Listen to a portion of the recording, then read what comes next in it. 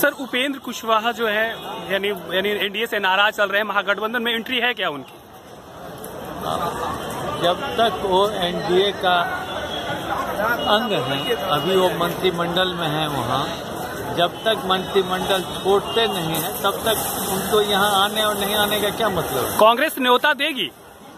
न्योता नहीं देगी। न्योता कांग्रेस नहीं किसी को देती है, लेकिन अगर कांग्रेस में वो आना चाहेंगे, महागठबंधन का पार्ट होना चाहेंगे जन विरोधी सरकार जो है, जो वहाँ मोदी जी की है, उसके विरोध में अपना स्टैंड क्लियर करेंगे, राहुल जी के नेतृत्व में अपनी आस्था व्यक्त करेंगे। तो मैंने पहले भी कहा है, जो उस तरह के फोर्स जो उस सरकार के विरोध में काम करना चाहे उन सबों का, कांग्रेस अध्यक्ष होने के नाते मैं स्वागत करूँगा।